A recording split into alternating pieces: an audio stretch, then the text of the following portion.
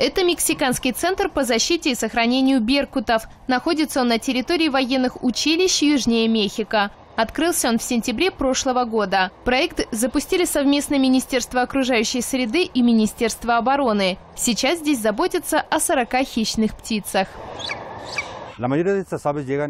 Большинство птиц поступают в ужасном состоянии. Они больны либо изранены. У них нет аппетита, сломаны перья и нарушена психика. Это говорит о плохих условиях в дикой природе.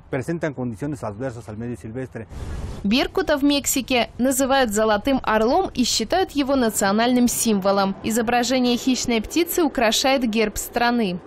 Под центр отвели почти 10 тысяч квадратных метров. Здесь есть ветеринарная клиника, лаборатория, рентгеновский кабинет и помещение с инкубаторами. Когда раненый или больной беркут выздоравливает, его переводят в отделение реабилитации. Там помогают восстановить душевное равновесие. Только после этого птиц отпускают в дикую природу. Но сначала специалисты ищут те места, где беркуты нужны, иначе можно навредить экосистеме. Хищные птицы – это природные санитары. Они помогают другим обитателям леса избежать эпидемий, потому что поедают старых и больных животных.